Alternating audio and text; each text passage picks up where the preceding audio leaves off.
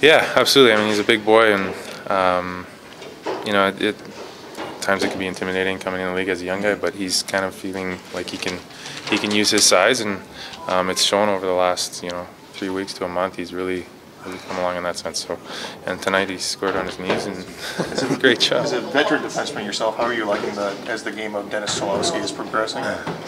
Great. I mean, yeah, I've liked him obviously since the first time I saw him, and um, he's uh, he's really, I mean, kind of beyond his years, and um, he has great composure. He makes a great first pass, and um, he does a lot of really good things. So um, it's no surprise that he stepped in um, at such a young age and done a good job.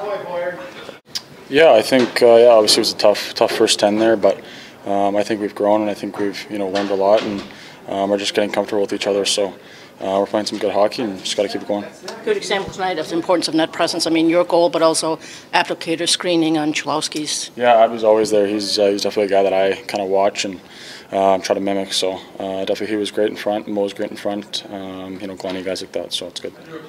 Um, it was good. It was good for us, um, especially the first period. We played really well, came out strong, and um, second we were a little bit slow. But then um, Blash, you know, kind of gave it to us a little bit between periods, and I thought the third was better. So, um, yeah, it's good for us to get that many goals, and hopefully we can keep going. What was the nature of his message when he was giving it to you? Uh, we just weren't playing the right way. Um, kind of, you know, cheating on pucks and, and, you know, not getting it behind them and, you know, being on the D side of the puck and stuff like that. And, um, I mean, we were up by a few goals, but you have to continue to play the right way. Was it the first 10 games of the season, you guys had 21 goals. Now, during this eight game stretch, I think you're at 31.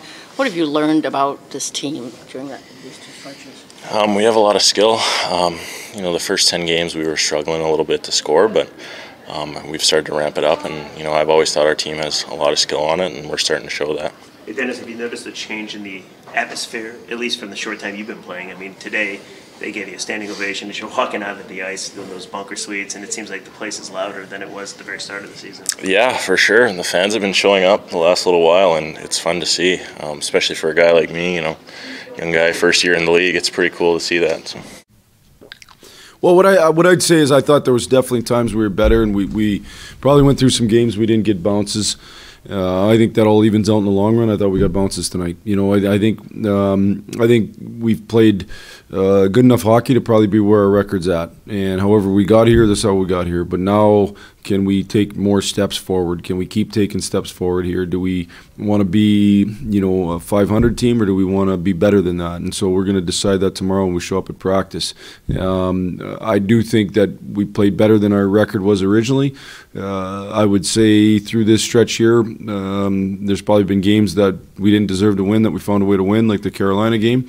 Um, let's let's take the confidence that we're gaining for sure. Uh, let's let's take the positives, but let's make sure we get better here tomorrow. How encouraging is it during this run to see the younger guys, guys like Cholowski, Rasmussen, the last few games, Delray, Mhm. last two games, Mantha, kind of step up and, and show their show some growth? Well, I think it's huge for organization. The more that those guys can can be a big part of it and uh, can score, um, I think. Uh, uh, the positive in this stretch here, even when we haven't played our best, is we found ways to score. You know, and, and scoring is a huge thing. Uh, it's it's uh, well, it's it's pretty much everything in the end. Uh, you can play great hockey and not score, and then you'll never win. So I think the fact we've been we found ways to score, I think is a huge thing. I think uh, Cholo and Ras and in doubles and in in Mantha, you know, early in the year certainly uh, they didn't score as much as they wanted to, and now they seem like they're getting hot. I was real happy to see Mantha score. I know that that uh, it helps his confidence tons, and he feel goes, feels good about himself, and I think he's starting to kind of roll a little bit. So um, it's a positive for us for sure.